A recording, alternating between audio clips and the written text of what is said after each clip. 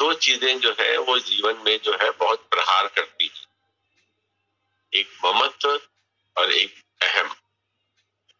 ये दो चीज़ें जो है हमको जो हमेशा जो है फंसा के रखती है।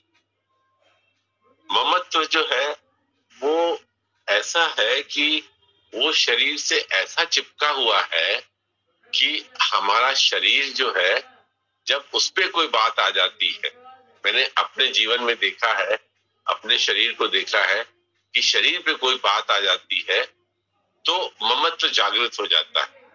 आदमी जो है, उसका शरीर से इतना अटैचमेंट रहता है कि दिखता नहीं है कि शरीर में, मेरे शरीर में, मेरे शरीर से मेरा अटैचमेंट है। तो जब शरीर से मेरा अटैचमेंट होता है, एक सुई भी अगर अगर हमारी उंगली में लगती है तो देखिए कितना दर्द होता है। हम तुरंत कहते हैं, अरे भाई, कोई दवा ववा है? हमें लगा दो। इसमें से खून निकल रहा था। फिर उसके उपचार के लिए, उसके लिए लग जाएँगे। ऐसे कैसे खून निकल आया? इसको डॉक्टर को दिखाना पड़ेगा। खून रुक क्यों नहीं रहा था? खून कुछ लाल नहीं था, कुछ पीला पीला था। तो ममत्व जो है, वो अंदर में शरीर का देहाभास, जो देह के प्रति जो आभास रहता है, वो रहता है। तो जब वो रहता है हमारे अंदर में, इसीलिए जो है, जीव जो है, कहते हैं, ऐसा पुराणों में, ग्रंथों में भी कहा गया है कि जीव जो है, मरने के बाद भी भटकता रहता है, क्योंकि उसका ममत्व जो है, अपने देह में जो है, वो लगा रहता है। अब वो ममत्व जो है, जब लगा रहेगा, और जब ममत्व रहेगा तो मेरा भी रहेगा। फिर मेरा जब रहेगा तो तो पूरी कहानी शुरू हो जाएगी। मेरा घर, मेरा परिवार, मेरा धन, मेरा ओहदा, मेरी जो है गुणवत्ता, मेरा अभिमान, सब मेरा मेरा ममत्व के साथ जब देह का अभ्यास इतना पड़ा हुआ है तो उसके साथ ही जो है, फिर जब देह का अभ्यास पड़ा रहता है तो उसके साथ उसके और भी कीटाणु जैसे buy one get one free होता है तो जब हमारे पास देह का अभ्यास लगा हुआ है तो फिर उससे मेरापन भी पैदा हो जाता है। अब मेरापन पैदा हो जाता है, अब ये जो है, ये कैसे दूर हो? ये बिना गुरु के जो है, वो दूर हो नहीं सकता। या तो उसकी इतनी लगन लग जाए गुरु से। आप देखें, कभी भी देखें कि बच्चा जब छोटा होता है तो बच्चा जिसे पैदा होता है तो वो अपने दोनों हाथ ऐसे ऐसे करके ऊपर करता है। तो हम लोग कहते हैं, देखो ये अपने छोटे छोटे हाथों से क्या देख रहा है? उसको दे पुराने जन्म का, ऐसा कहा गया है कि पुराने जन्म का ऐसा दे अभ्यास पड़ा रहता है कि नया जन्म लेने के बाद भी वो अपने छोटे छोटे हाथों को देखा करता है। एक बार एक जो है ज्ञानी पुरुष मिले, वो ये कहने लगे कि जैसे वो हाथ को बच्चा देखता है तो अगर हम आपके शरीर को, मेरे अंदर कोई ऐसा जादू हो कि हम आपके शरीर को दो ढाई किलो का कर दें, छोटे, यानी छोटा बच्चा बना दें तो जब हम छोटा बच्चा आपको बना दे जादू से तो आप एकदम से देखेंगे कि मेरे हाथ पाथ इतने छोटे छोटे कैसे हो गए। हमको जो है ये क्यों नहीं दिखाई दे, ये कैसा मैं इतना बड़ा था, इतना छोटा कैसे हो गया कि वो दे अभ्यास था। तो वो ऐसा कहने लगे भागवत में कि जीव में जन्म के बाद भी देह अभ्यास पीछा करता है।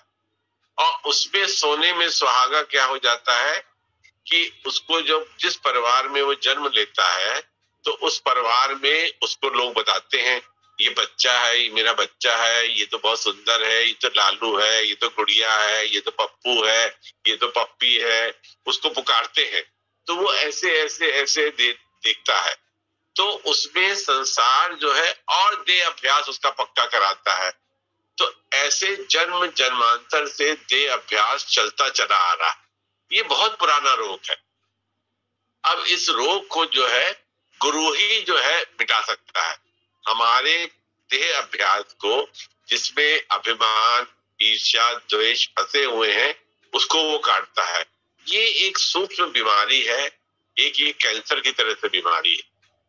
इस बीमारी को गुरु अपनी पारखी नज़र से ही देखता है कि ये इसमें देह अभ्यास हम जब भी जाते हैं कहीं तो हम कहीं भी जाएँगे तो हम कुछ ना कुछ मांगेंगे ही उससे कि हमको ऐसा हो जाए, ऐसा हो जाए।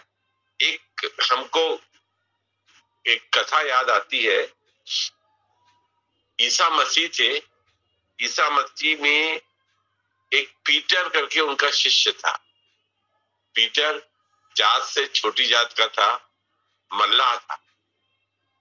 एक बार ईसा मसीह अपने कुछ शिष्यों के साथ नदी के उस पार जा रहे तो ये पीटर मल्लाह की नाव जो थी, वो किनारे पे खड़ी थी।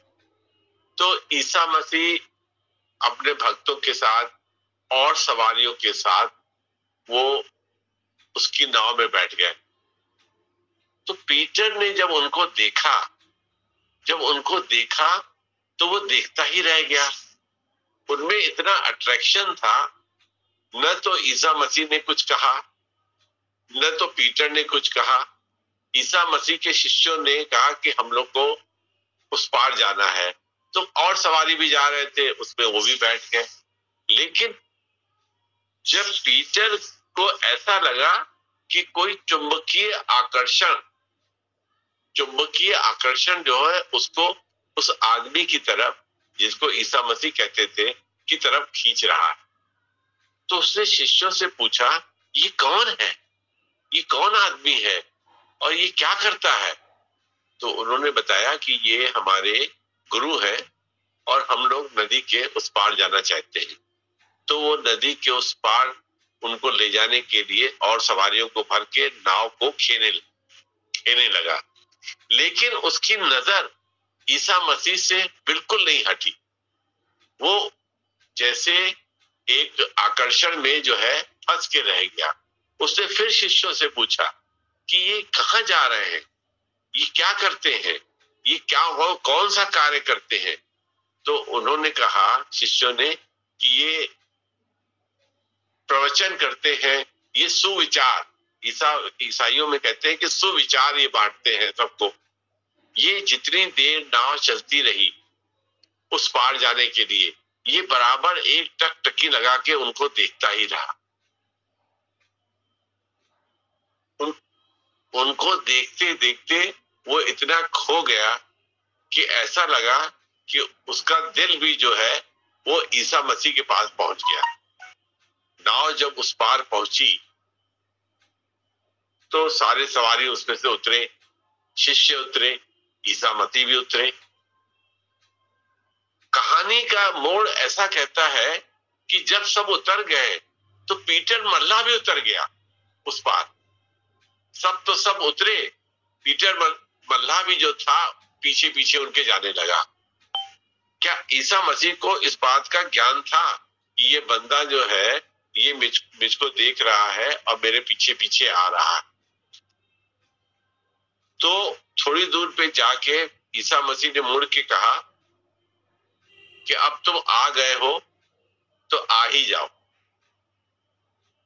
ईसा मसीह की बात को सुनकर वो उनके पीछे पीछे जाने लगा। तो देखिए देह गुरु का कि एक नज़र, एक शब्द, कोई ज्ञान का आना आदान प्रदान नहीं हुआ, कोई भजन का आदान प्रदान नहीं हुआ। कोई मंत्र का आदान प्रदान नहीं हुआ, कोई शिक्षा का आदान प्रदान नहीं हुआ, सिर्फ़ एक नज़र एक नज़र ईसा मसीह ने उसको देखा और कहा, अब तुम आ ही गए हो तो आ ही जाओ। पीटर का घर था बार था, अपनी गाँव था, अपनी नाव थी, अपनी पत्नी थी, अपने बच्चे थे, वो सब भूल गया। और उनके पीछे पीछे जाने लगा। ईसा मसीह एक गाँव से दूसरे गाँव दूसरे गाँव से तीसरे गाँव ऐसे जाते रहते थे। तो पीटर भी उनके साथ साथ पीछे पीछे जाने लगा। एक दृष्टि के पढ़ते ही, गुरु की दृष्टि में देखिए कितनी महानता होती है। हम गुरु, हम कहानी की तरफ़ नहीं ले जाना चाहते आपको। हम गुरु दृष्टि की बात बताते हैं। कि वो दृष्टि का असर, गुरु की दृष्टि का असर ऐसा होता है कि ऐसा चुंबकीय आकर्षण होता है कि वो सब कुछ दे अभ्यास वगैरह, दे आभास वगैरह और वो आसक्ति, वो लगाव सब भुला देता पीटर सब कुछ भूल गया। वो ये भी भूल गया कि नाव जो है, मेरी नदी के इस पार खड़ी है। मैं घर जाके कह के आऊँ, नाव वापस करके आऊँ। इसी नाव के द्वारा मेरे घर वालों का गुजारा होता है। गाँव में लोग क्या कहेंगे उससे कुछ नहीं सोचा। उसने भी नाव छोड़ दी। वहीं के वहीं बाँध दी और उनके पीछे पीछे चला गया। गुरु के एक शब्द से का इतना प्रभाव, संत का के शब्द का एक इतना प्रभाव होता है कि अगर हमारा मन, अगर हमारा मन जो है वो परमार्थ की तरफ़ जरा सा भी खुला रहता है। तो देखिए, आप कितनी तेज कृपा जो है, गुरु की जो है, बरसती है। ज़रूरी नहीं है कि आदमी बहुत अभ्यास करे, बहुत वैराग्य करे, ये छोड़े। वो गुरु अपने आप ही छुड़ा देगा। गुरु अपने आप ही जो है खींच देगा बशर्ते आज के दिन में देखिए कि आजकल अगर सर्दी है तो सर्दियों में आप देखिए कि जरा सी खिड़की जरा सी खुली हो। फिर ये हवा कहाँ से आ रही है? कहीं से हवा आ रही है? खिड़की बंद करो, बहुत ठंडक है आजकल के दिनों में। तो हमें खिड़की से आभास हो जाता है कि कहीं ना कहीं से हवा आ रही है। ऐसे ही अगर हमारे मन की खिड़की जरा सी भी खुली हुई है, परमार्थ की तरफ़, गुरु की तरफ़ तो गुरु अपने प्रताप से उसको खींच देता अपनी तरफ़ खींच के ले जाता अब ईसा मसीह की अगर हम बाइबल किताब पढ़ें तो उसमें उन्होंने बहुत प्रवचन नहीं किए हैं।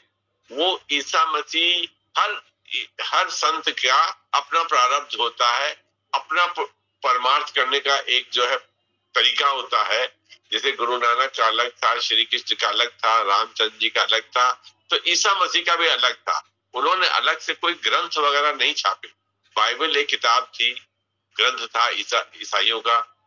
वो उसके द्वारा ही जो है, वो लोगों को अच्छी शिक्षा, ऐसा ईसाई लोग कहते हैं कि वो अच्छी शिक्षा का का बखान करते थे, उसको बताते थे, दूसरों के दिल में बिठाते थे।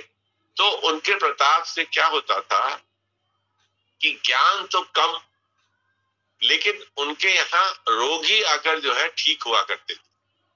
तो वो एक गाँव से दूसरे गाँव में जाया करते थे। तो ये पीटर और उनके और ग्यारह शिष्य। ईसा मसीह के मुख्य बारह शिष्य थे। तो ग्यारह शिष्य और एक पीटर, ये भी उनके साथ साथ जाने लगे। तो उनके पास, ईसा मसीह के पास बहुत भीड़ लगती थी। कोई गूँगा था, वो बोलने लगा। कोई अंधा था, उसको रोशनी मिल गई, दिखाई देने लगा। कोई लंगड़ा था, वो चलने लगा। तो बड़ी भीड़ इकट्ठी होने लगी। ईसा मसीह गाँव से गाँव गाँव से गाँव चलते रहते थे। उन्होंने हमेशा जो है, जो जो भी वो उनसे चमत्कार उनके द्वारा हो जाते थे तो भीड़ भीड़ क्या चाहती है? भीड़ तो मैंने एक बार पहले भी बताया था भीड़ ज्ञान तो चाहती नहीं है, भीड़ तो आशीर्वाद चाहती है, भीड़ चमत्कार चाहती है, उसी में लगी रहती है। पीटर और उसके ग्यारह गुरु भाई उनके साथ साथ जाते थे। अब देखिए, जब पीटर के देह अभ्यास की बात हमने शुरू करी, ममत्व से तो जो देह अभ्यास था, वो देखिए कैसे कटता है और गुरु कैसे काटता है। ज़रूरी नहीं कि ज्ञान का आदान प्रदान हो और गुरु बहुत बड़ी सी भाषा बोल के बहुत इंग्लिश और हिंदी में हमको समझाए और ग्रंथ हमको दे तो हमारे अज्ञान का नाश होगा। ऐसा नहीं होता। एक नज़र, उससे कितना प्रताप होता। एक दिन गुरु पीटर के गाँव से एक आदमी आया। उसने आके बताया कि, पीटर, तुम्हारे पिताजी का देहांत हो गया। पीटर का मन बड़ा विचलित हो गया अपने पिताजी का देहांत सुनकर कि, अरे, मेरे पिताजी गुजर गए। तो वो दौड़ा दौड़ा ईसा मसीह के पास गया। ईसा मसीह से कहने लगे, मेरे पिताजी का देहांत हो गया है। मैं गाँव जाके उनका जो है आखिरी वक्त पे जो है उनका दर्शन कराऊं और मैं उनकी जो है जो क्रियाक्रम है उसको मैं पूरा कराऊं। लोग क्या कहेंगे? देखिए, देह अभ्यास फिर जगह। एक जगह देखिए, ध्यान से सुनिएगा कि एक जगह तो वो गाँव से पीटर ने ईसा मसीह को उतारा और उनके ऊपर इतना एक नज़र से इतना आशिक हो गया कि उसने जो है नाव वहाँ छोड़ दी, अपना घर बार छोड़ दिया। अपनी पत्नी छोड़ दी, बच्चे छोड़ दिए, कुछ याद नहीं आया। ईसा मसीह के पीछे पीछे चला गया। फिर देखिए, देह अभ्यास कैसे कैसे जागृत होता है, हम इस कहानी के द्वारा ये बताने का प्रयास कर रहे हैं कि देह अभ्यास कैसे कैसे जो है बुझ जाता है और कैसे कैसे जग जाता है। उस समय की अवस्था को देखिए तो हम क्या कहेंगे कि पीटर बहुत महान था, उस एक ही नज़र में उसने सारा त्याग कर दिया उसे कोई मोह माया लगी चला गया। फिर उसको जो है, कई महीनों तक, कई सालों तक घूमने के बाद जब उसको पिताजी की मृत्यु का समाचार मिला तो देखे ते अभ्यास फिर जगा। उसने तुरंत कहा कि मैं एक बार तो जाके अपने पिताजी के दर्शन कर रहा हूँ और उनका जो है क्रियाक्रम मैं करके आऊ। लोग क्या कहेंगे? ईसा मसीह ने उसकी तरफ़ मुड़ के देखा और एक लाइन कही कि क्या पीटर तुम्हारे गाँव में इतने भी आदमी नहीं है जो एक लाश को दफन कर सके? ध्यान से सुनिएगा, ईसा मसीह ने कोई ज्ञान नहीं दिया उसे। कोई कोई ज्ञान की बात सुना के उसके पिता का मोह नहीं दूर किया। देखिए, शिष्य और गुरु का कैसा संबंध होता है। उन्होंने खाली एक शब्द कहे कि पीटर क्या तुम्हारे गाँव में इतने भी आदमी नहीं है जो एक लाश को दफना सके? और ऐसा कहकर ईसा मसीह दूसरे से बात करने लगे और दूसरे काम में व्यस्त हो गए। पीटर सोचने लगा, थोड़ी देर के लिए सोचा उसने। फिर उसके मन में वो जगी, बात जगी। उसने सोचा कि मैं इतने साल से घर मैंने छोड़ दिया तो क्या वो लोग पलते नहीं होंगे? क्या उनकी कोई देखभाल नहीं होती होगी? ये कह के वो चुप हो गया। अब हम इसमें एक बात और भी बताते हैं, फिर उसके बाद बताते कि जब पीटर के गाँव में लोगों को पता लगा कि पीटर ईसा मसीह संत के साथ चला गया है तो उसमें जो कुछ लोग जो थे, जो परमार्थ के रुझान में थे, जो जो है, जिनका रजो रजोगुण, तमोगुण से अलग सतोगुण में ज़्यादा प्रभाव था तो वो लोग उसके परिवार की देखभाल करने लगे कि इनका बेटा जो है संत के साथ लगा हुआ है। वो गाँव गाँव जाते हैं, वो दूसरों की बीमारी को दूर कर देते हैं संत। वो उनकी सेवा में पीटर लगा है तो पूरा गाँव उनकी देखभाल करता था। पीटर के गाँव पीटर के माँ बाप की और उनकी पत्नी की, उनके बच्चों की। तो पीटर के मन में ये आया कि क्या कहते हैं कि मेरे गाँव में मैं इतने साल से नहीं गया तो उनकी देखभाल तो होती होगी ना। तो वो नहीं गया। एक शब्द सिर्फ़ जो है, ईसा मसीह ने कहा कि तुम्हारे गाँव में क्या इतने लोग भी नहीं है जो एक मुर्दे को दफना सके? वो ईसाइयों में दफनाते हैं, एक मुट्ठी मिट्टी अपने पिताजी की कब्र पे डालने के लिए भी वो वहाँ नहीं गया। और उसको उसी से ज्ञान हो गया कि मेरी कोई ज़रूरत वहाँ नहीं है। हम थोड़ी देर के लिए अपने दिल पे हाथ रख के कहें, अगर गुरु हमसे ऐसी परीक्षा लेते, अगर गुरु जी हमसे ऐसी परीक्षा, ऐसी बात कहते तो हमारी मन की स्थिति गुरु के प्रति कैसी रहती? हम कहते, कमाल करते हैं, मेरे पिताजी गुजर गए हैं। हम तो गुरु जी से तो पूछते भी नहीं, पिताजी गुजर गए हम भाग जाते सीधे। कि कह देते किसी से कि जाके कह देना गुरु जी से पिताजी गुजर गए, वो अपने गाँव गया है। वो लखनऊ भाग गया है। देखिए कितना फ़र्क है। गुरु की चुंबकीय शक्ति का और शिष्य के रिसेप्टिव मोड का, यानी उसके ग्रहण करने की शक्ति का कितना समावेश है कि उन्होंने एक लाइन कही और वो एक लाइन से समझ गया और उसके सम, वो समझा गया उसके बुद्धि में उसके मन में वो प्रभाव पड़ा वो नहीं गया।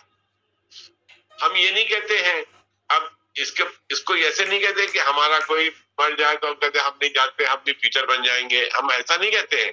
हम खाली ये चीज़ को बताने का प्रयास कर रहे हैं कि गुरु की शक्ति हमारे ममत्व को जहाँ से हमने बात शुरू करी कि ममत्व को कैसे वो पकड़ता है। एक शब्द से, एक शब्द से उसको आकर्षित कर देता है। एक शब्द शब्द से उसके, उसको मोहित कर देता है। मन को मोहित कर देता है गुरु। कैसे? तो इतना दे अभ्यास जो हम जन्मों से लेके चले आ रहे हैं, उस अभ्यास को गुरु एक क्षण में काट देता है। अगर हम रिसेप्टिव मोड पे हैं, अगर हम ग्रहण करने की मुद्रा में है। आप देखें कभी कभी क्या होता है, आठ बजे प्रार्थना शुरू हुई। आठ तीस हो गया, साढ़े आठ बज गए तो मैंने सोचा, देखिए, मैं अपने मन की बता रहा हूँ, मैं ऐसे आप जो भी बात लीजिएगा, मेरे पर ही रखकर सोचिएगा कि आठ बजे प्रार्थना शुरू हुई और प्रार्थना के बाद फिर भजन हुआ। भजन के बाद फिर आप भजन गाते हो, वो भजन होता है। ये तो तय है ना। ये तो तय है ना कि पहले प्रार्थना होती है, प्रार्थना के बाद भजन होते हैं, फिर सब लोग एक दूसरे को अभिवादन करते हैं गुरु जी को प्रणाम करते हैं, फिर उसके बाद आप भजन गाते हो। उसके बाद फिर सत्संग शुरू होता है। ऐसा होता है ना। ऐसा तो मैंने समझा है। साढ़े आठ बज गया। आठ पैंतीस हो गया। मैंने सोचा क्या वो सत्संग भजन के बाद या क्या बात चली थी? ऐसा मैंने सोचा। तो मैं ये सोचने लगा कि मेरा मन कहाँ था? प्रार्थना हुई, भजन हुआ, फिर आपने भजन गाया। दो भजन हो गए, प्रार्थना हो गई, उसके बाद कुछ प्रवचन भी हुए, लेकिन मेरा मन कहाँ था? प्रार्थना तो मैंने सुनी, प्रार्थना तो मैंने करी, फिर भजन उन्होंने गाया, वो भी मैंने सुना। फिर आपने भजन गाया, फिर मैंने वो भी सुना। उसके बाद जो ये बीस मिनट का समय था, वहाँ पे मैं कहा था? बैठा तो मैं वहीं था। मन तो देखिए पंद्रह बीस मिनट में कहीं और लग गया, जिसका हमको होश भी नहीं था। तो इस तरह का ममत्व, दया, अभ्यास दयाभास हमको जो है, या मन का चतुराई, या मन का चंचलपना, या मन का वेग वेग रफ्तार, कैसे आदमी को जो है वो दौड़ा के ले जाती है। तो पीटर को जब उन्होंने, जब इस तरह से कहा और वो नहीं गया, उसके कंपैरिजन में, अगर पीटर के कंपैरिजन में अगर मैं, अगर अपने को खड़ा करूँ तो मैं तो कहीं स्थान नहीं पाता कि मैं ऐसा कर सकूँ। देखिए, जो ये दे अभ्यास है, ये अहंकार है, और ये ईर्ष्या है, द्वेष है, मोह है, ये लालच है, ये जो है हमको बार बार जो है पकड़ती है जगह जगह पे हमको जो करती है। ये हम किसी दृष्टांत के द्वारा, किसी सिद्धांत के द्वारा इसको समझने का प्रयास करते हैं। फिर इसको हम अपने जीवन में लगाते हैं कि हम कहाँ पे खड़े तो एक एक कहानी में या एक एक दृष्टांत में हम देखें कि एक जगह तो वो नाव छोड़ के चला गया, दूसरी जगह उसके पिताजी की डेथ हुई, फिर वो वहाँ से जो है नहीं गया, एक ही शब्द कहने पे। अब इसके आगे देखिए कहानी चलती है, छोटी सी कहानी है कि ईसा मसीह के कई दुश्मन हो गए। तो वहाँ के राज्य राजा राजा को जाके लोगों ने शिकायत की, वहाँ के किंग को लागे, लोगों को शिकायत की कि ये अपने को भगवान कहता है।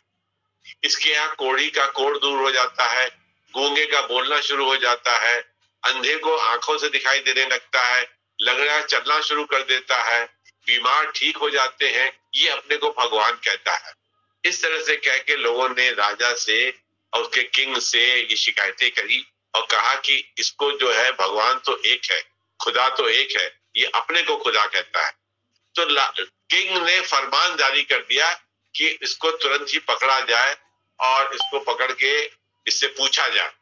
और अगर जो है ये इस तरह की भाषा बोलता है तो इसका उस समय जो था, वो दंड था क्रूसीफाई करना तो उसको सूली पे चढ़ा दिया जाता तो कहते हैं कि जिस समय ईसा मसीह के क्रूसीफाई का समय आ गया, उसके एक रात पहले, पीटर जो है उसने इतना त्याग किया था। सब शिष्यों में, बारह शिष्यों में ये बारहवा शिष्य था। इसने बहुत त्याग किया था। इसने घर बार छोड़ा था। और ये ईसा मसीह के ऊपर पूरा आशिक भी था। ईसा मसीह के ऊपर पूरा आशिक भी था। ईसा मसीह कहने लगे कि रात का भोजन शुरू होने वाला था, क्रूसीफाई से एक दिन पहले। सूली में चढ़ने के ईसा मसीह को पता लग गया था कि अब मैं पकड़ा जाऊँगा। और मुझे जो है यहूदी लोग ले जाएँगे और मुझे क्रूसीफाई कर देंगे। वो ये उनको संत थे, उनको ये बात का आभास था। तो वो रात में अपने बारह शिष्यों के साथ कहने लगे कि आज हम लोग सब मिलके खाना खाएँगे। तो वहाँ पे खाते समय पीटर जो है, बहुत बढ़ के, चढ़ के बातें कर रहा था कि देखे कौन हमारे ईसा मसीह जी को पकड़ के ले जाता है, कौन हमारे गुरु को पकड़ ले जाता है, मैं देख लूँगा, मैं समझ लूँगा। हम लड़ लेंगे, हम अपनी जान दे देंगे। ईसा मसीह ने सिर्फ़ उसकी तरफ़ देखा और उससे कहा, सारे शिष्यों से कहा कि, पीटर, तुम मेरे क्रूसीफाई होने से पहले, इस रात के ढलने से पहले, मुर्गे के बांग देने से पहले, तुम तीन बार मेरे को पहचानने से इनकार करो तो वो बहुत आश्चर्य में पड़ गए। बाकी के ग्यारह शिष्य भी आश्चर्य में पड़ गए कि ईसा मसीह ने पीटर के लिए ऐसे कैसे कह दिया। ये तो बहुत ही जो है त्याग वाला आदमी है, ये तो बहुत ही जो है लगाव वाला आदमी है, ये तो इनका पूरा आशिक है। इन्होंने ऐसे कह दिया, फ़िलहाल खाना खत्म हुआ। खाना खाने के बाद जो है वो बैठे। इतने में यहूदी, यहूदियों के सैनिक सेना बल के साथ वहाँ पहुँच गए। किसी ने बता दिया कि ईसा मसीह यहाँ बैठे हुए हैं। तो वो ईसा मसीह को पकड़ने के लिए आ गए। जब ईसा मसीह को उन्होंने पकड़ा और उनको खींच के ले जाने लगे उससे पूछा वज़ीर ने कि तो अपने को भगवान कहते हो? तो ये एक अलग कथा है, मैं फिर बताऊँगा।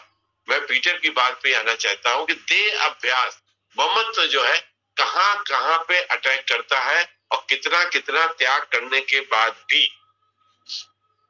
पीटर को एक ओल्ड लेडी थी और राजा का आदेश था कि ईसा मसीह को पकड़ा जाए और साथ में उनके जो फॉलोअर्स हैं, जो शिष्य हैं, उनको भी पकड़ा जाए और उनको भी सजा मिलेगी। सब तितर बितर हो गए। पीटर भी वहाँ से हट गया। ईसा मसीह को खींच के वो ले जाने लगे। तो उसमें से एक ओल्ड लेडी उसने जो है, पीटर को पहचाना। उसने कहा, ये भी ईसा मसीह का शिष्य है। ये भी ईसा मसीह कहला तुम भी तो ईसा मसीह के शिष्य हो, तुम क्यों भाग रहे हो? तो उसने अपने देह के डर से, उसने अपनी मौत को देखते हुए इस बात से इनकार कर दिया कि मैं ईसा मसीह का शिष्य नहीं हूँ। वो कहने लगा कि मैं ईसा मसीह का शिष्य नहीं हूँ। मैंने कभी उनको अपना गुरु नहीं माना। तो उसने कहा, नहीं, हमने तुमको वहाँ देखा है। तुम उनके साथ जाते देखा है तो उससे मना कर दिया। तो यहूदियों ने उसको छोड़ दिया। वो थोड़ा और आगे गया। थोड़ा और आगे गया, भीड़ बहुत इकट्ठी हो गई थी। मारो मारो करके जो ईसा मसीह को लोग पत्थर मार रहे थे। तो उसी में जो है, थोड़ी दूर पे जाके जो है, एक आदमी और मिला। उसने कहा, ये ईसा मसीह के साथ रहता है, इसके नाक नक्श जो है, उस शिष्य से मिलते हुए है। ये उनका शिष्य है। इससे पूछो पूछो, ये ईसा मसीह का शिष्य है। इसने वहाँ पर भी दूसरी बार पीटर ने ईसा मसीह को पहचानने से इनकार कर दिया। क्योंकि उसको इस बात का पता था कि यहूदियों में जो है, वो सजाए मौत के अलावा और कोई सजा नहीं। या तो कोड़े बरसाए जाएँगे, या तो आग में जलाया जाएगा या तो ईसा, हमको सूली में चढ़ा दिया जाएगा। उस डर से उसने जो है अपने गुरु को पहचानने से इनकार कर दिया। वो फिर भागा। वहाँ से बहुत दूर भागने लगा तो वहाँ पे कुछ सैनिक मिले। वो कहने लगे कि तुम क्यों भाग रहे हो? हम लोग तो ईसा मसीह को पकड़ने के लिए जा रहे हैं। उसने तुरंत ही कहा कि ईसा मसीह बहुत पीछे है। वहीं उसको पकड़ा गया है और मैं तो अपने घर जा रहा हूँ। तो उन्होंने कहा, तुम ईसा मसीह को जानते हो? तो उसने कहा, मैं ईसा मसीह को नहीं जानता पीटर, जिसने अपनी नाव छोड़ दी, अपना गाँव छोड़ दिया, पिता की मृत्यु के आने के बाद, मृत्यु का समाचार मिलने के बाद, एक ही सेंटेंस में वो बात समझ गया। उसने तीसरी बार भी अपने ईसा मसीह को पहचानने से इनकार कर दिया। अब देखिए ये तो फिर ईसा मसीह को क्रूसीफाई कर दिया गया, सूली पे चढ़ाया गया, वो एक अलग कथा है। ते अभ्यास, देखिए कहाँ, कहाँ पे त्याग करता है, कहाँ कहाँ पे त्याग के बाद जो है, फिर त्याग करता है, कहाँ, कहाँ पे जो है ममत्व, यानी देह का अभ्यास, आभास, अभ्यास कर रहा हूँ, गलत शब्द इस्तेमाल कर रहा हूँ, आभास फीलिंग देह मैं देह हूँ, ये देह के डर से आग, आदमी जो है या जीव आत्मा जो है, वो परमात्म के रास्ते से हट जाती। क्योंकि उसको देह का आभास जो है, वो उसमें इतना गहन है, इतना गहरा है, वो उसमें फंस जाता है। अब इस ऐसे गहरे आभास को इतने त्याग के बाद और इतने बलिदान के बाद, इतने नेछावर के बाद, घर बार छोड़ने के बाद भी देह का अभ्यास, मौत का डर, उसको जो है जाग जाता है। जीव आत्मा का ही। अब ऐसे गहरे रोग को, जिसको मैंने कैंसर का रोग कहा ये एक कैंसर का रोग है, इसको गुरु रूपी डॉक्टर ही जो है, वो हटाता है। आप देखिए कभी कभी किसी कथाओं में आता है कि कितना ही विश्वास रहे, कितना ही रहे, गुरु के दरबार में जब आदमी सेवा करता है। जब वो सेवा में किसी किसी में लगे हुए देखता हूँ तो मुझे ऐसा लगता है कि ये जो है, हमसे बहुत ही महा, बहुत ही जो है वैल्यूबल प्राणी है। ये बहुत ही उच्च कोटि के हैं कि ये अपने देह का जो आभास है, उसको खत्म करके सेवा में लगे। मंदिर में झाड़ू लगाना या समाधि पे झाड़ू लगाना या किसी की सेवा करना जब वो करते हैं तो अपने देह के सुख को भूलते हैं, उसका त्याग करते हैं। हम देखिए, हम कंफर्ट जोन में रह रहे हैं। हम चाहते हैं कि हमारे शरीर को कोई कष्ट न हो, उसको पूरा आराम मिले, समय पे खाना मिले, समय पे अच्छे कपड़े मिले, हमारे बच्चे को अच्छी पढ़ाई मिले, हमको बहुत धन मिले दूसरे के पास ये सामान है तो ये सामान हमको मिले। हम पूरा समय अपने देह के अभ्यास की वजह से कंफर्ट जोन में रह रहे हैं, आराम की स्थिति पैदा करने में रहते हैं। क्योंकि देह अभ्यास हमको उससे बाहर निकलने में रोकता है। जैसे एक कथा बार बार जैसे आती कि उसके एक हज़ार गाय थी, उनको भेज दिया गुरु ने और कह दिया, जब ये एक हज़ार गाय हो जाए, सौ गाय हैं, एक हज़ार हो जाए तो उनको लेके आना। तो अगर दे अभ्यास से आदमी अपने कंफर्ट जोन में रहे तो कंफर्ट जोन में जब रहेगा, आराम की स्थिति उसको पसंद होगी। जो आराम की स्थिति उसको पसंद होगी, तभी हम क्या करते हैं? तभी हम जो है आशीर्वाद मांगते हैं। हम चमत्कार पे विश्वास करते हैं। हम ज्ञान पे विश्वास नहीं करते हैं, हम गुरु के शब्दों पे विश्वास नहीं करते हैं।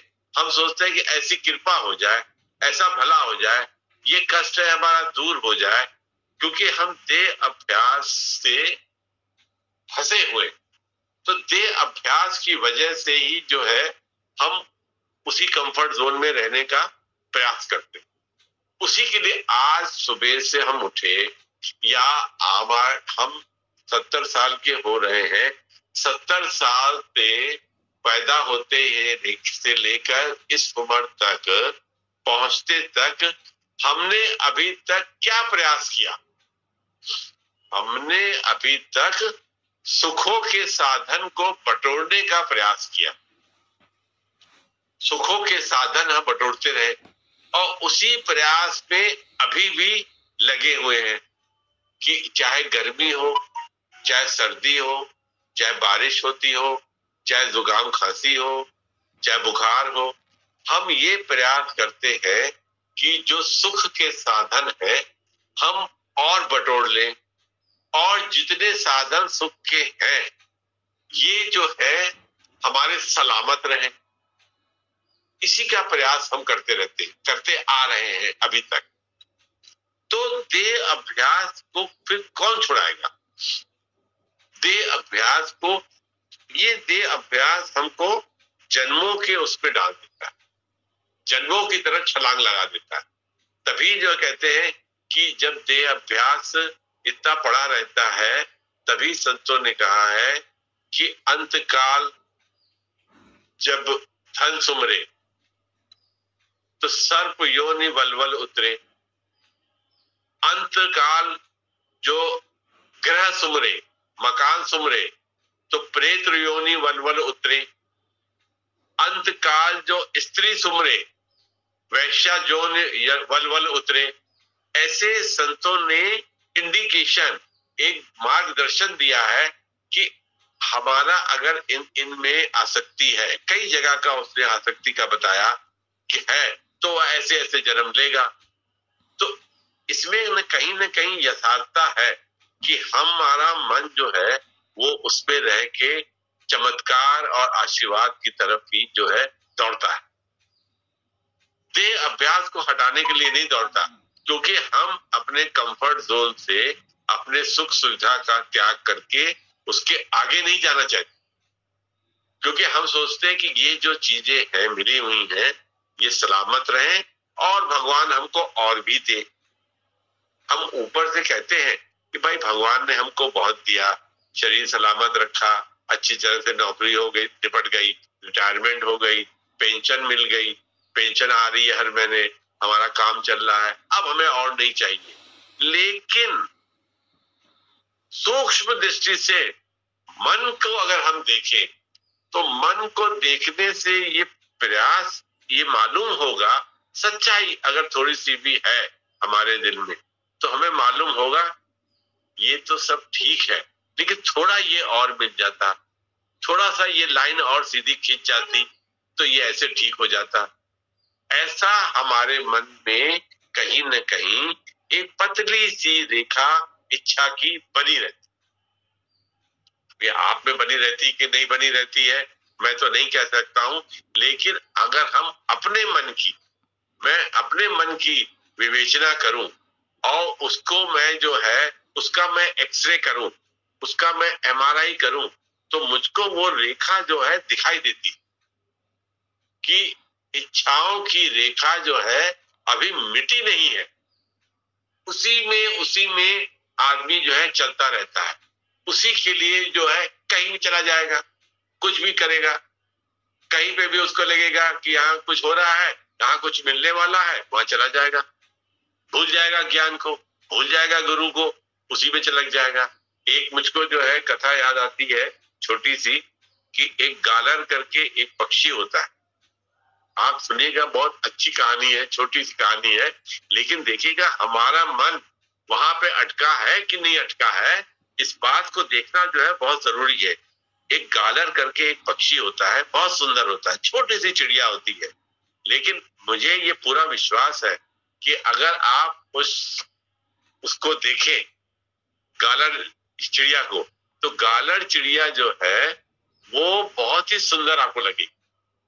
एक आदमी अपने जो है, कहीं जा रहा था तो वो जंगल में पड़ा। बीच में तो उसने कहा, लाओ, मैं थोड़ा विश्राम कर देता हूँ, कर लेता हूँ। थक गया हूँ।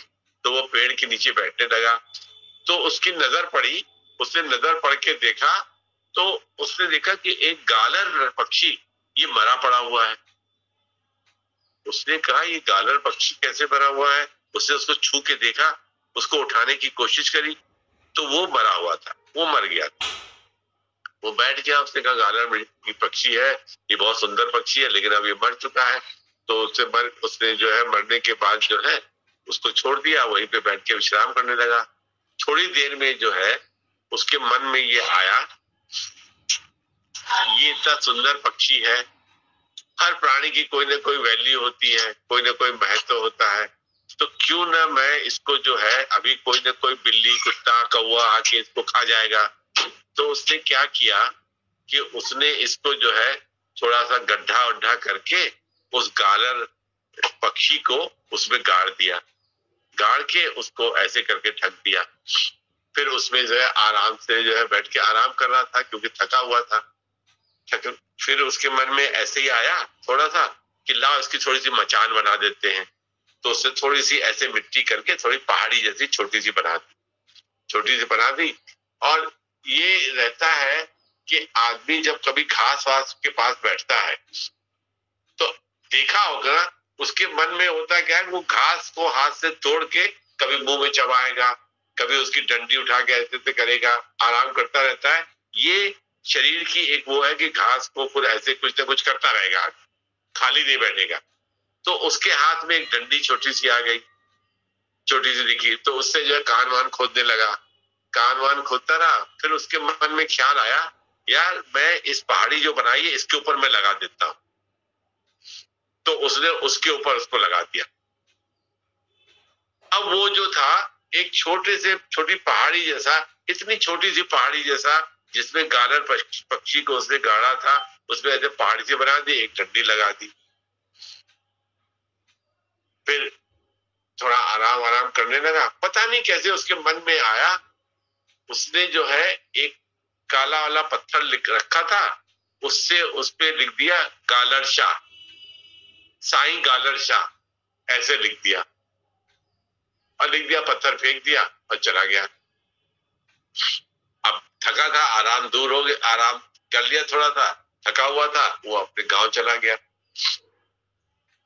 छह महीने के बाद, छह महीने के बाद फिर वो उसी रास्ते से, छह आठ महीने के बाद फिर वो उसी रास्ते से फिर निकला। तो उसने देखा, बोलो जी, बोलो, वहाँ तो जो है, तमाम दुकानें लग गई थी। और वहाँ पे जो है, उसको याद आया, यहाँ तो मैंने गालर पक्षी को जो है गाड़ा था। तो यहाँ इतनी दुकानें, पहले तो कोई मेला वेला नहीं लगता, यहाँ मेला वेला किस बात का लगा है? उन्होंने, उसने एक आदमी से पूछा कि भाई ये यहाँ पे ये जो है, ये मेला वेला कैसा लगा हुआ है ये? उसने कहा कि यहाँ पे गालर शाह की जो है, दरगाह है। साईं गालर शाह की दरगाह है। उसने कहा, साईं गालर शाह की दरगाह? कहले, ये कौन है? कहले, एक बहुत बड़ी बाज़ार है। उसमें जो है, सबकी मान्यताएँ पूरी होती हैं। इसलिए हर बृहस्पतिवार को लोग यहाँ आते हैं। तो हर बृहस्पतिवार को यहाँ पे मेला लगता है। वो गया, चले जाके मैं देखता हूँ ये कौन है। कालर शाह, उसको याद आया, ये एक पक्षी मैंने गाड़ा था और ये जो है, ये गालर शाह की दरगाह कह रहा है। तो मैं भी जाके माथा टेक के आता हूँ। कुछ प्राप्त हो जाए मुझे भी। जो मेरा सुख बना हुआ है, वो बना रहे। और सुख जो मैं की इच्छा कर रहा हूँ, वो मुझे मिल जाए। क्या जाता है? मैं तो यहाँ से गुजर ही रहा हूँ। वो वहाँ गया। तो वहाँ जाके देखा उसने कि जहाँ पे उसने पक्षी को गाड़ा था, वहाँ पे तीन बाय छ की, एक आदमी के हिसाब की की तरीके की एक समाधि बनी हुई थी। उसने पूछा वहाँ पे कि कौन है? ये किसने समाधि बनाई है? तो एक आदमी उसमें से बोला, कहने लगा कि मेरी जो थी, एक बहुत कठिनाई थी, बहुत दुख था मेरे पास तो मैंने जो है, वो मुकदमा में बार बार वो हार जा रहा था। तो मैं यहाँ से गुजर रहा था तो मैं यहाँ पे ये गालर शाह की एक छोटी सी ऐसी ये बनी हुई थी, मचान जैसी थी, उसमें झंडा लगा हुआ था। तो मैंने उसको हाथ जोड़े, और मैंने कहा कि गालर शाह, अगर जो है मैं आज मुकदमा जीत जाऊँगा तो मैं जो है यहाँ पे गरीबों को भोजन कराऊँगा। ऐसा कह के मैं मुकदमा लड़ने गया। मैं 20 साल से मुकदमा हार रहा था। बार बार जज जो है, वो फैसला नहीं दे रहा था। डेट पर डेट डेट पर डेट, तारीख पर तारीख पड़ती जा रही थी। तो फिर उसके बाद क्या हुआ कि मैं गया। तो उस दिन जो है, जज का ऐसा मूड था कि मेरे, उन्होंने मेरे फेवर में, मेरे लिए उन्होंने मुकदमे का फैसला कर दिया। जो 20 साल से नहीं हो रहा था। तो मैं जब वो मुकदमा जीत गया तो उसके बाद मुझे एकदम से ध्यान आया कि हो ना हो, ये गालर शाह की जो वो छोटी सी वो थी, बनी हुई थी, जगह थी, मुझे उसी का प्रताप। उसने दूसरे दिन काम करेंगे मैंने सब काम वाम सब छोड़ दिया और मैंने आके जो है, गालर शाह की जो है, एक समाधि बना दी। मैंने बनवाई। क्योंकि मेरी ये मान्यता पूरी और यहाँ पे मैंने जो है गरीबों को खाना खिलाया। उसने ये बात सबको बताई। अब वो बात जो थी, वो दो से चार चार से आठ आठ से दस दस से बीस बीस से सौ सौ से हज़ार, एक गाँव, दो गाँव, चार गाँव सब जगह फैल गई। अब वहाँ पे हर बृहस्पतिवार को जो है मेला लगने लगा। ये जो था प्राणी, ये गले अपने गाल के ऊपर ऐसे हाथ रखकर सोचने लगा यार, ये तो गालर पक्षी है। कहने के आप गालर शाह से मिले थे? पूछा। कहले हम लोग मिले नहीं थे कभी गालर शाह से। तो कहले आपने कभी देखा नहीं था उनको? कहले नहीं, हम लोगों ने देखा नहीं था। हम लोगों ने यहाँ पे गुंबद बना देखा था। उस पर एक ऐसे डंडी लगी हुई थी। तो उसी, उस पर लिखा था, शाह गालर शाह। तो हमने जो है, उसी पे प्रणाम किए और उसी से मुझे मुकदमा जीत गया। अभी जो है, इतने गाँव के लोग आ रहे हैं। सबकी मान्यताएँ भी जो है लगभग पूरी हो रही है। सब गालर शाह को मानते हैं। इसलिए हर बृहस्पतिवार को यहाँ पे मेले मेला लग जाता है। छोटे छोटे दुकानदार आते हैं, वो दुकानों पर सामान बेचते हैं। और जो बड़े बड़े दुकानदार हैं, वो अपने साइकिल वाइकिल पे और ठेले वेले पे कपड़े ले आते हैं, वो बेचते हैं। या मिठाई की दुकानें लग जाती हैं, या झूले लग जाते हैं। और एक मेला लग जाता है सुबह दस से लेके शाम पाँच बजे तक। यहाँ बत्ती रात होती है, सब लोग चले जाते हैं। इस बंदे ने कहा, तुम लोग को पता है कि गालर शाह कौन थे? कहने हम लोग ने तो बताया आपसे कि गालर शाह हम लोग को पता नहीं है कौन थे। कहले मैं जानता हूँ। अब इसके मुँह से निकला कहले मैं जानता हूँ कि गालर शाह कौन थे। मैं, हमने ही इसकी इसकी ये जो मचान थी मैंने ही बनाई है। लेकिन बंदे ने ये नहीं बोला कि ये पक्षी था। उसने खाली कहा कि ये गालर शाह थे तो मैंने ये इसकी बनाई है और ऐसे झंडी लगाई। अब आप जानते हैं कि लोग आशीर्वाद और चमत्कार के पीछे दीवाने तो लोगों ने जो है, उसी के ऊपर जो है, फूलमाला पहना दी, किसी ने उसको पगड़ी पहना दी, और किसी ने कहा भाई, आप ही जो है, देखा है आपने, इससे बड़ा संत कौन और मिलेगा, जिसने गालर शाह को देखा है, और उसकी जो है, वो पूजा अर्चना करने लगे। कहले अब आप यहाँ रहिए आप इसकी जो देखभाल करिए, हम आपको सारी सुविधा देंगे। यहाँ पे आपके लिए छोटा सी झोपड़ी बना देंगे। आपको कोई कष्ट नहीं होगा। वो सोचने लगा कि मैं निठल्ला आदमी एक गाँव से दूसरे गाँव गाँव विश्वास के व्यवसाय के लिए जाता रहता हूँ तो मैं यही बैठ जाता हूँ। उसको अपने सुख, अपने कंफर्ट की याद आने लगी। था कौन वहाँ पे? मान्यता क्या थी? गालर पक्षी एक्चुअल में क्या था? गालर पक्षी था। अब मान्यता क्या थी कि साईं गालर शाह की दरगाह है। ये बंदा भी वहीं बैठ गया। कहने लगा, यहाँ पे खाना पीना मिलता है, कोई दूध पिलाता है, कोई बादाम देता है, इतनी देर में सबने जो है इतना सब कर दिया, लोग पाँव छूने लगे, उसको पैसा भी चढ़ाने लगे, वो वहीं बैठ गया। कंफर्ट जोन से, और सारी दुनिया अपनी इच्छाओं की पूर्ति के लिए वहाँ आने लगी। ये गालर शाह की एक छोटी सी कहानी है कि हम अपने सुख को बरकरार रखने के लिए और हम अपने सुख को सलामत रखने के लिए कहीं भी चले जाएँगे।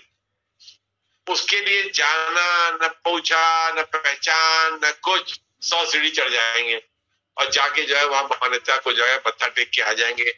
फिर हम अपने परिवार में, अपने से छोटे को कहेंगे, पाँव छूने में क्या जाता है? सर झुकाने में क्या जाता है? कोई लेना देना तो नहीं है। हमें क्या करना है? लोग झुका रहे हैं, हमने भी सर झुका दिया। अंदर में पड़ी हुई सूक्ष्म, अंदर में पड़ी हुई सूक्ष्म जो रेखा है हमारे सुख के लालसा की, उसको हम सलामत रखना चाहते उसको हम पूरा करना चाहते तो हम कहीं भी जाके आशीर्वाद देने के लिए और चमत्कार को पाने के लिए उसे वाह वाह करके चले जाए। ऐसी हमारे जीव की या हमारे मन की प्रवृत्ति है। देह अभ्यास है ना, जो हमने कहा कि जो हमारे अंदर देह अभ्यास पड़ा हुआ है और उस देह अभ्यास से जो कंफर्ट हमको प्रारब्ध हिसाब से हमको सुख मिला हुआ है, उस सुख को सलामत रखने के लिए और देह अभ्यास के बारे में हमने बताया कि देखिए कितना भी त्याग करके हमें ये हो जाए। और हम कहें कि फलाने ने बहुत त्याग किया है। वो अभिमान, वो दे अभ्यास, वो किस छेद से, किस झरोके से आ जाए और फिर प्रहार कर दे। इसको जो है कौन पहचानता है? इसको गुरु ही पहचानता है। इसको जो है, गुरु ही पहचानता है कि दे अभ्यास, अहंकार, या हमारा कंफर्ट जोन या हमारी लालसा, या हमारी इच्छाएँ, या हमारी आकांक्षाएँ, हमार, हमारे ऊपर कैसे बैक डोर से, पिछले दरवाजे से प्रहार करती। कितना ही त्याग हम कर ले, हमने इतनी बात में कितनी चीज़ें, कितने प्लेटफॉर्म खड़े कर दिए त्याग कर दिया, नाव छोड़ दी, घर बार छोड़ दिया, पूछा भी नहीं, नाव वापस भी नहीं कराए, पीछे पीछे संत के चले गए। पिताजी गुजर गए। एक शब्द गुरु ने कहा, वो भी उसने ऐसे सेंटेंस में कहा, कोई ज्ञान नहीं दिया, तब हम उसके पीछे पीछे चले गए। जहाँ फिर देह अभ्यास आ गया, जब ईसा मसीह को क्रूसिफाई करना पड़ा, हमारा देह अभ्यास जाग गया, हमने पहचानने से इनकार कर दिया। फिर हम जो है, फिर आकर्षण की तरफ़, हम जो है, आशीर्वाद की तरफ़, हम चमत्कार की तरफ़ आँख बंद करके चले गए चाहे वहाँ पे डॉलर पक्षी की कब्र ही क्यों ना बनी हो। हम कहते मान्यता पूरी हो जाए, किसी तरीके पूरी हो जाए। और हम अपने से नीचे जो परिवार में है, उसको भी हम जो है, वही बात सिखाते अरे कुछ ना कुछ तो मिलेगा ही ना, जाते हैं मंदिर में, ठीक है, तुम हनुमान को जी को नहीं मानते हो तो क्या हुआ? चलो, कुछ तो कुछ मिलेगा। कुछ ना कुछ तो तुमको जो है आशीर्वाद मिलेगा। इस तरह से ज्ञान के प्रति या देह अभ्यास के प्रति तो सिर्फ़ एक गुरु ही है जो हमारे देह अभ्यास को, जो सात परतों के अंदर पड़ा हुआ है। उसको वो जो है वहाँ से उठाता है। वो एक एक परत करके खोलता है। बहुत दिन तक गुरु के संग रहने के बाद भी जैसे जो है, वो लगता है कि ठीक हो गया, ठीक हो गया, लेकिन फिर भी आ जाता है। जैसे ये देह अभ्यास को हमने कैंसर की उपाधि दी, वो इसलिए दी कि मान लीजिए कि कभी कोई बीमारी हो जाए। हमने कहा डॉक्टर से कि, डॉक्टर साहब, अब खांसी बिल्कुल ठीक हो गई है। अब नहीं हो रही है। आज सात दिन हो गए कोई खांसी नहीं। अब मैं दवा न लू। डॉक्टर कहता नहीं ये दवा जो है अभी आपको एक महीना और लेनी बाहर निकल के हम क्या कहते हैं? बाहर निकल के हम कहते हैं अरे ये डॉक्टर ना दवा बेचने के चक्कर में एक महीने की दवा हमको पकड़ा दे रहा है जबकि हमको खांसी है नहीं। अब ठीक हो गई है। आपने कभी मेरी खांसी सुनी एक हफ़्ते से? आपने एक हफ़्ते से खांसी सुनी? तो हमने कहा नहीं सुनी। तो कह फिर मैं दवा क्यों लू? डॉक्टर लालची है।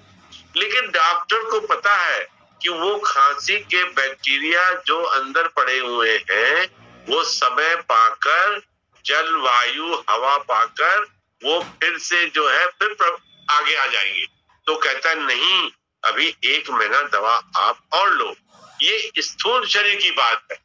तो जो ये सूक्ष्म शरीर की बात है, जिसमें देह अभ्यास हमारा इतना पड़ा हुआ है तो हमको लगता है कि हमारा देह अभ्यास खत्म हो गया है, या हम अपने सुख की सुविधाओं में घर में बैठ गए हैं तो हमको लगता है कि हमको जो है पूरा ज्ञान हो गया है और मुझे सब चीज़ समझ में आने लगी है।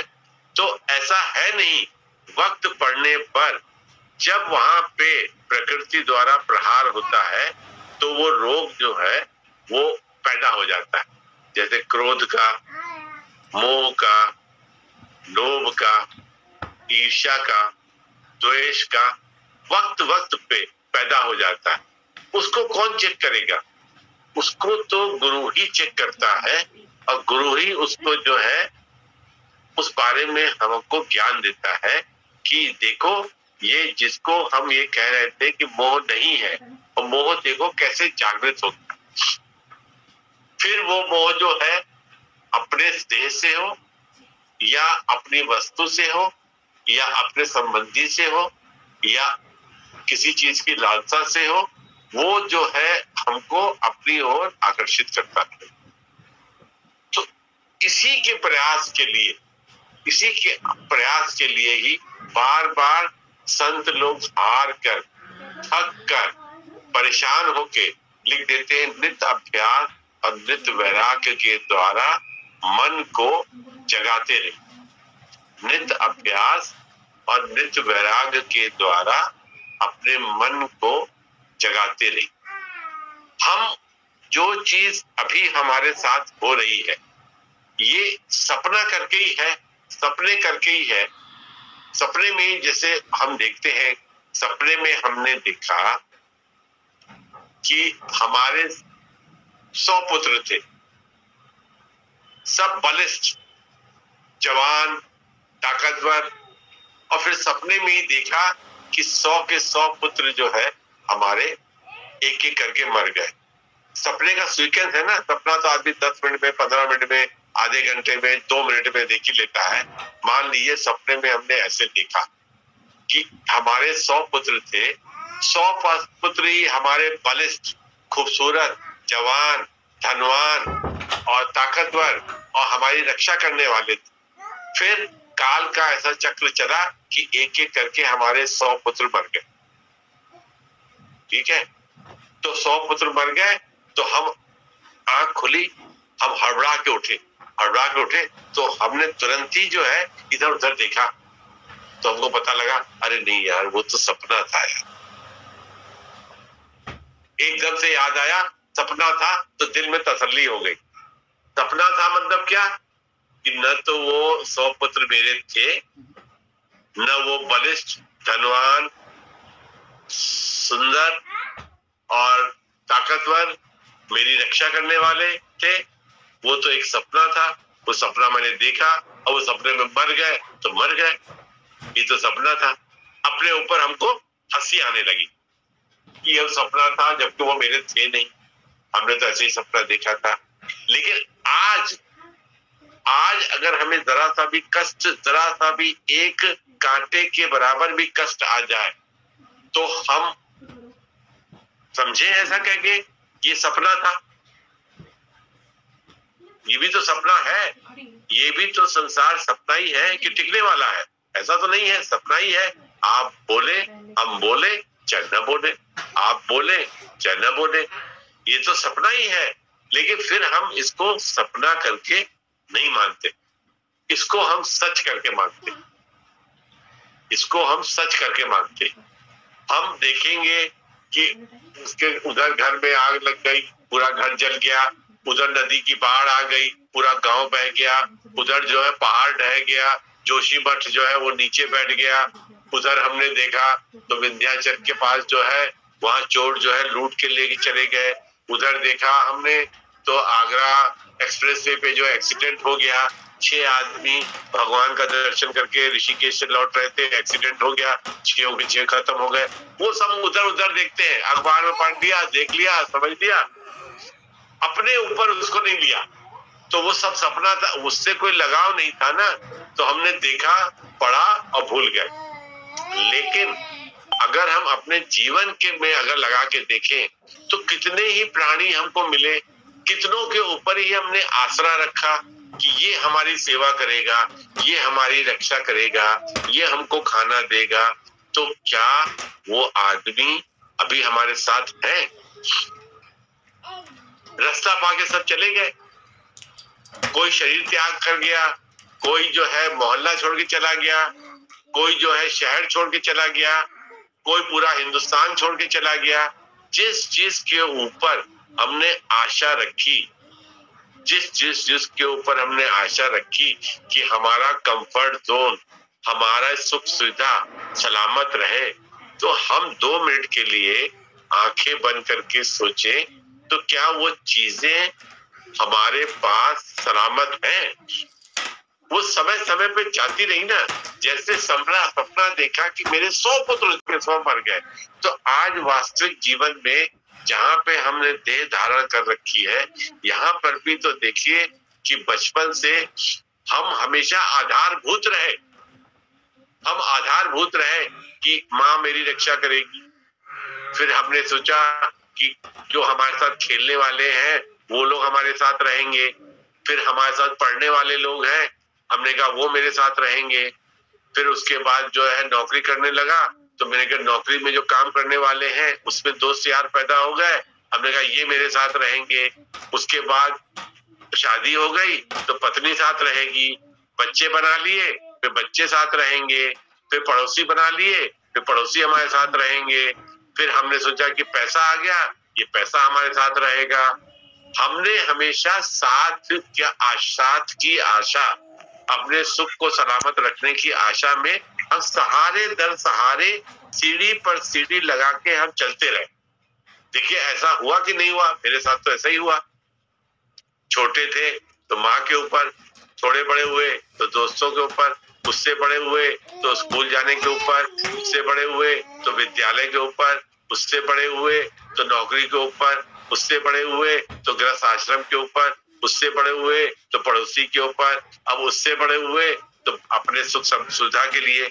हम उसके ऊपर सहारे दर सहारे, सीढ़ी दर सीढ़ी, सहारा ही लेते रहे। लेकिन वो देह अभ्यास को हमने हमेशा ज़िंदा रखा। देह अभ्यास से उठने का तो ये जो सौ सब पुत्र हमारे सपने में हमने देखे गुजर गए, वो असली जीवन में भी तो लोग छोड़ छोड़ के जाने, जाते रहे, जाते ही हैं। आज देखिए, आज जो है, जिस बच्चे को हमने बहुत पाल पोस के अच्छे से बड़ा किया, वो हमने कहा कि ये मेरी आँखों का नूर है। ये हमसे कहीं दूर नहीं जाएगा। ये हमारे साथ रहेगा। मैंने इसको पाला है। मैंने इसके जो है, कपड़े साफ़ किए हैं। मैंने इसको दूध पिलाया है। मैंने इसकी रक्षा करी है।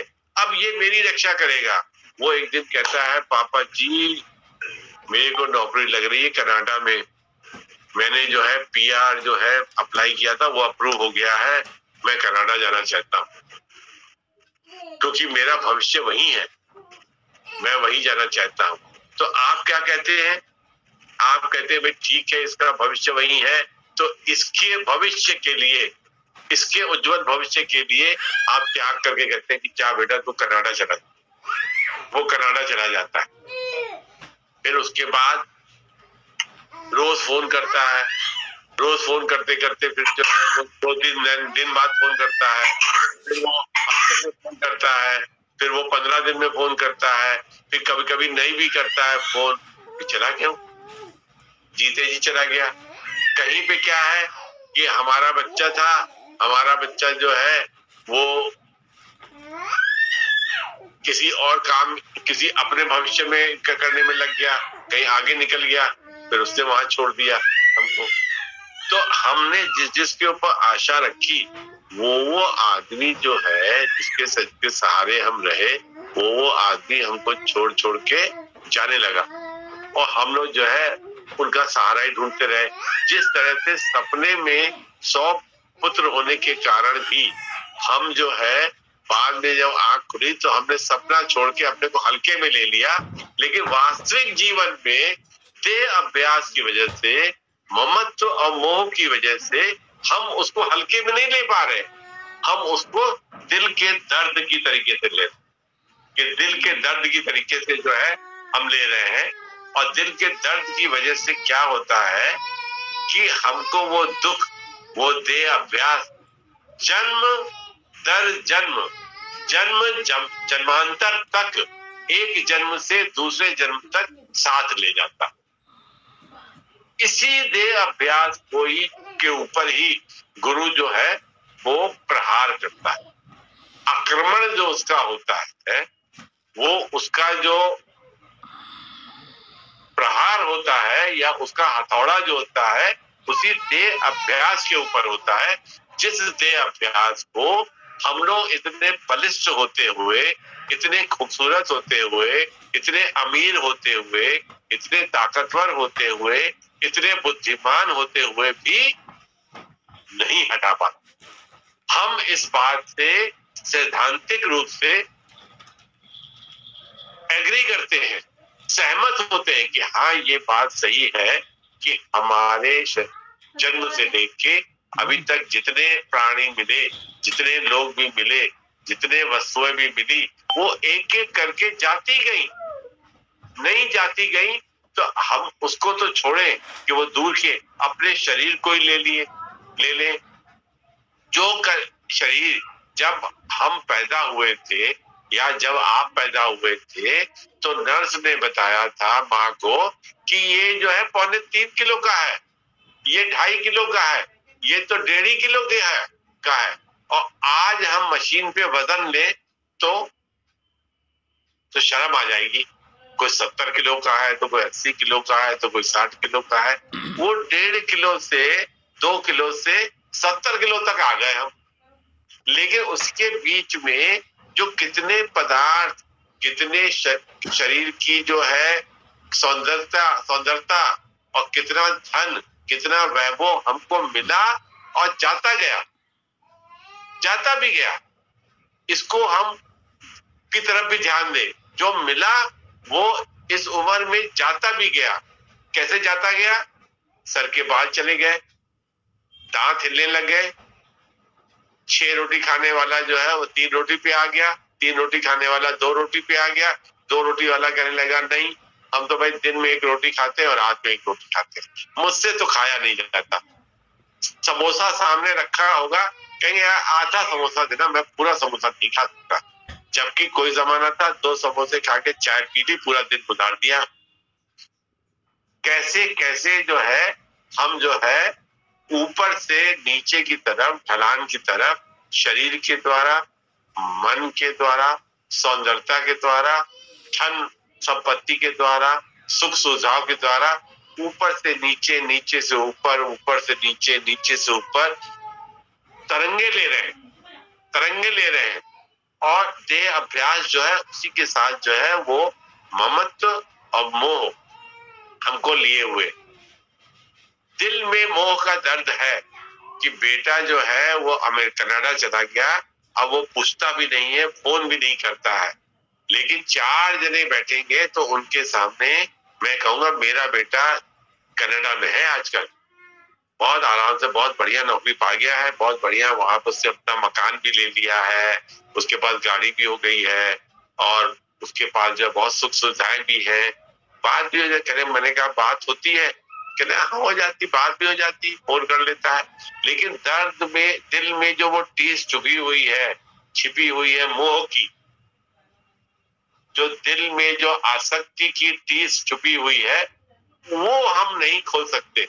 वो हम खुद से ही महसूस करते हैं। तो हम खुद से ही अपने देह के ममत्व को और मोह को पहचाने। और पहचाने और गुरु से हमेशा यही प्रार्थना करें कि ये जो ममत्व है और ये मोह जो है ये हमको हमारे सूक्ष्म आँखों से और स्थूल आँखों से दिखाई दे। पहले तो हमको ये चीज़ दिखाई दे कि ये ममत्व और ये मोह हमारी आँखों के सामने, हमारा ममत्व, आपका नहीं आपका नहीं, हमारा ममत्व हमको दिखाई दे। हमको क्या दिखाई देता है? दूसरे का दूसरा मोह में फंसा हुआ है, दूसरे को बड़ी लालच है दूसरे को बड़ी ईर्ष्या होती है, दूसरे को बड़ा क्रोध आता है, फलानी जो है पैसे के पीछे दीवानी है, ऐसी बात हम करते लेकिन घूम फिर के हम अपनी बात को देखें और अपने मन से करें। हो सकता है गुरु की अदृश्य कृपा हमारे ऊपर होके वो ज्ञान के चक्षु जो है खुले। सब चीज़ जो है, आजकल तो सब चीज़ गुरु ने ऐसा कर दिया है कि आज सब कल सब चीज़ समझ में आती है कि ये ये जो है, अज्ञान जो है, हमारा, हमारे ममत्व की वजह से, हमारे मोह की वजह से, ये हमारे मेरा तेरा की वजह से पीछा कर रहा है। इस पीछा करने वाले ममत्व को दूर करने के लिए ही जो है, हमें प्रयास करना है। इसी को जो है, वो हमने बताया ना कि ग्रंथ लोग लिख देते हैं, नित्य अभ्यास, नित्य वैराग के द्वारा जो है, इसको दूर करना ये नित्य अभ्यास नित्य वैराग के द्वारा इसको दूर करिए। क्योंकि वो भी मानता है, ग्रंथ भी मानता है, सिद्धांत भी मानता है, वेद पुराण भी मानते हैं कि नित्य अभ्यास और नित्य वैराग के द्वारा ये जो प्रहार करने वाले छुपे हुए रोग हैं, ये कैसे दूर होंगे? ये नित्य अभ्यास, नित्य वैराग के द्वारा ही दूर होंगे। इसी में लगे हो कि इसी का प्रयास करना है। बाकी चीज़ें क्या करनी है? बहुत चीज़ें मिल गई। क्या करना है उनको बहुत चीज़ें खा ली, बहुत चीज़ें पहन ली, बहुत जगह घूम लिए। सुख के पार्टी में हम कहते आज दिन कहते पार्टी करेंगे पार्टी करेंगे। हम क्या चाहते हैं? हम ये तो चाहते हैं, साल में हमको अच्छा धन मिल जाए, अच्छे कपड़े मिल जाए अच्छा घूम फिर आए अच्छा खाने को मिल जाए, एक दो फॉरेन का ट्रिप मिल जाए। यही सब तो ढूंढते रहते हैं हम। इसी के, इसी पे पूरा साल, पूरा दिन गया फिर नया साल आ गया, फिर जुट गए, फिर 2023 में लग गए, उसी काम में जो 2022 में करते थे, वो 2023 में करने लगे 2024 में करने लगेंगे। तो बीती जाए रे उमरिया सारी। तभी कहते हैं, संत लोग, ऐसे ही बीती जाए रे उमरिया सारी। बीत जाती है उम्र, फिर हम उसी में समय पार कर देते हैं। फिर एक दिन जो है, ज़िंदगी के किनारे पे आके खड़े हो जाते हैं। फिर वहीं से ममत्व और मोह जो है, उसी को लेके फिर हम आगे पदार्पण कर जाते हैं। आगे बढ़ जाते हैं। क्योंकि हमने ये समय अभी हमको मिला है कि हम विरक्ति अपने अंदर पैदा करें। विरक्ति जितनी पैदा होगी, उतना ही जो है मन आराम में हो जाएगा। उतना ही मन जो है सुखी हो जाएगा। इसी में सुख है। इसी में सुख है। बाहरी चीज़ में सुख नहीं है। इसी चीज़ में सुख है। इसी का ही जो है, अगर नहीं होगा तो आगे भी ज़िंदगी ऐसे ही जो घूमती रहे घूमती रहे, गोल गोल। कहते दुनिया गोल है तो गोल गोल घूमती रहेगी तो जीवन भी गोल है, गोल गोल ही जय गुरु। जय सदगुरु के अंकल, एक बात बस मैं पूछा जा रहा हूँ, आपने पीटर और जीसस क्राइस्ट का बताया था? जय सदगुरु के। अभी आपने जो कहानी बताई थी पीटर, जीसस क्राइस्ट की, लास्ट सपर वाली तो मैंने पहली बार ही सुनी है, मुझे कोई आइडिया नहीं था। आपने एक बात जो कही ना कि पीटर ने ममत्व के कारण तीन बार बोला कि मैं जीसस क्राइस्ट को नहीं जानता हूँ। तो ये आपने अंततः यही कहा कि उसने अपने ममत्व की वजह से देहाध्यास की वजह से ऐसा कहा तीन बार। लेकिन आपने शायद ये भी कहा कि जीसस क्राइस्ट ने रात में बोला था कि तुम्हें सुबह उठने से पहले तीन बार ऐसा बोलना पड़ेगा। ऐसा बोलोगे? ऐसा बोलोगे। तो ये मतलब उनके गुरु के प्रभाव से उन्होंने ऐसा बोला कि उन्होंने अपने देहाध्यास की वजह से बोला। अल्टीमेट क्या होगा गुरु जानता था कि ईसा मसीह जानते थे कि कितना भी आदमी त्याग करके आ जाए और कितनी ही ऊंचाई पे पहुँच जाए, उसको ऐसा प्रतीत हो कि मैंने जो है कहीं न कहीं सूक्ष्म मन में ऐसा रहता है कि हमने इतना त्याग किया, मैंने इतना त्याग किया, मैंने घर बार छोड़ दिया मैंने जो है अपने पिता की मृत्यु पे मैं नहीं गया, सब कुछ कहा। मैं उनका सबसे बड़ा शिष्य हूँ। उसको ऐसा जो है, सोया हुआ अहंकार या सोया, सोई हुई प्रतिष्ठा उसको जागी। तो ईसा मसीह ने उस समय भविष्यवाणी करी कि तुम आज की रात ढलने से पहले, मुर्गे के बाँध देने से बोले, पहले तुम तीन बार तुम मुझे पहचानने से इनकार करोगे। जिस गुरु के लिए वो ग्यारह, बारह शिष्य थे उनके मुख्य तो कहानी ये कहती है कि ग्यारह शिष्यों में वो बढ़ चढ़ के वो बोल रहा था, मैं ही हूँ, मैं ही हूँ जो आपको बचाऊँगा यहूदियों की सेना से, और मैं ही आपको जो है, मैं ही आपका असली शिष्य हूँ। तो उन्होंने खाली शांत स्वभाव से यही कहा कि तुम आज की रात ढलने से पहले तीन बार मुझे पहचानने से इनकार करोगे ये उन्होंने भविष्यवाणी नहीं करी। ये उन्होंने जाना कि ये जो अभी बोल रहा है, और के जो बचे हुए ग्यारह शिष्य थे, वो भी तो जो थे, वो भी तो किसी उनके शिष्य थे। उनमें भी तो कोई गुण या कोई लगाव या कोई प्यार गुरु के प्रति रहा होगा, जो पीटर नहीं जानता था। लेकिन ईसा मसीह तो जानते थे कि हर फूल में अलग अलग सुगंध होती है अलग अलग खुशबू होती है। लेकिन पीटर जो उस समय बढ़ चढ़ के बोल रहा था तो ईसा मसीह ने सिर्फ़ इतना ही कहा कि तुम तीन बार आज की रात में तुम मुझे पहचानने से इनकार करोगे तो उसको ये बात बुरी लगी। तो हमारा कहने का प्रयास ये था कि जो हमारे हम कार्य करते हैं अच्छा या बुरा तो हमारे अंदर में उसकी तरंगे उसके निशान पड़े रहते हैं और वक्त आने पे वो उभर आते हैं।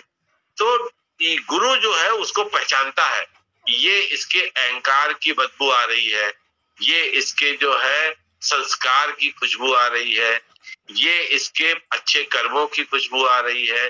गुरु पहचानता है। हम उतना वक्त पे नहीं पहचानते।